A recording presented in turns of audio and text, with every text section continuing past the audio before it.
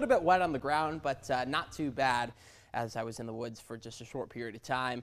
The uh, temperatures today, beautiful temperatures, just a little bit above normal, but a little bit cooler than what we've seen what we've seen over the past couple of days. Those temperatures, though, on the rise as we go through the rest of the week. Looking at your temperatures right now, 73 in Dayton, but you can see further off to the west into the south, those temperatures right around uh, 80 to 90 degrees. We won't see the 90s going through the rest of the week, but we will get back up into the 80s. As you can see, this warm air going to be surging in here as a warm front will push on through. And if you want to get the mm, lawn mode here over the next couple of days, today looks like a great one here if you uh, have a couple of hours, or an hour, I should say. And then as we go into Wednesday and Thursday, temperatures will be a little bit warmer. Thursday looks like the best day with temperatures right around 85 degrees or into the mid 80s there as we go through Thursday. So if you're looking for that warm day, Thursday looks like the best one.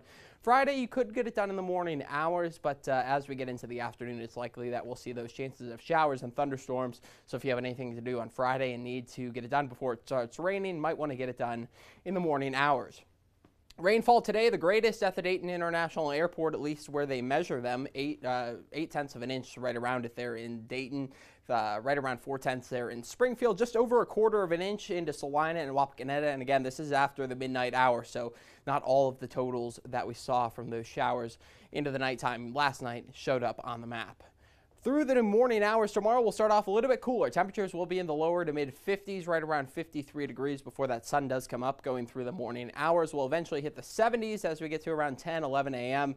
Through the afternoon, those highs uh, getting up to around 81 degrees by 3 o'clock. Lots of sunshine as well.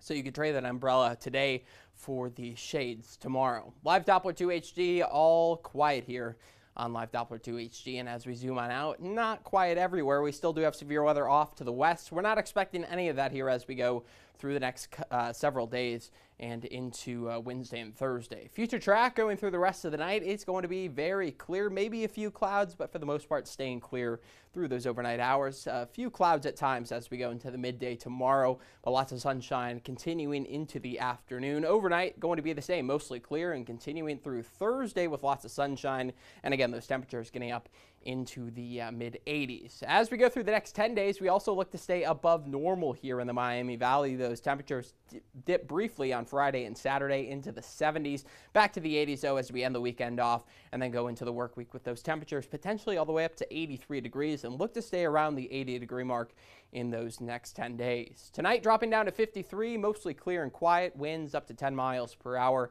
And then tomorrow could be a bit breezy. It's going to be beautiful, but in the afternoon hours we'll have those winds gusting upwards of 25 miles per hour, sustained winds up to 20 and mostly sunny with the exception into the mid-morning where we could see a few more clouds than sunshine.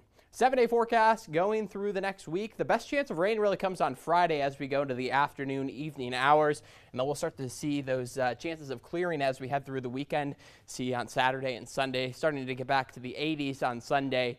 And then more chances of showers going into the work week.